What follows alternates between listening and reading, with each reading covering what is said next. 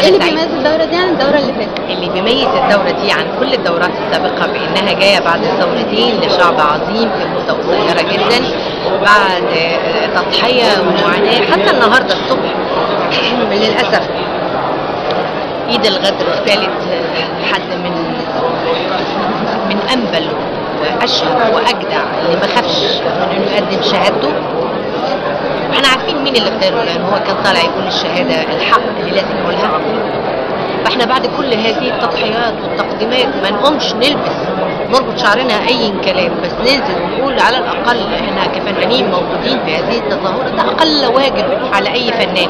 والله العظيم من 20 سنة ما ما جيتش المهرجان إنما السنة دي حسيت من واجبي إني لازم أجي. فلبست جيت يمكن ب 10 دقائق نادين شايفة الوضع الحالي للفن والسينما هو دايما في الأسوأ. شايفة إيه؟ شايفة إيه الفترة الجاية؟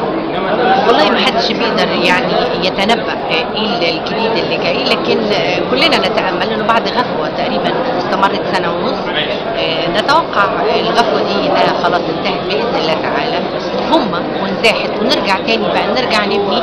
وكأنك يعني رجعت مثلا عشر سنين لورا.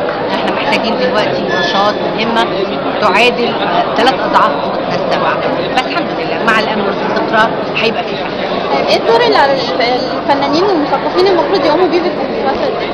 كل ما يعني تؤتي من قوة إنك آه، تكوني حاضرة في محافل في مهرجانات إنك تكوني تقولي كلمة حق بإنك تتواجدي على الساحة الفنية وما تبخليش البخل على ظهورك على جمهورك وعلى محبينك ده غلط آه، كان ممكن من زمان إنه ما نحضرش مهرجانات بس دلوقتي ما ينفعش آه، طب حضرتك بتحضري إيه الفترة الجاية؟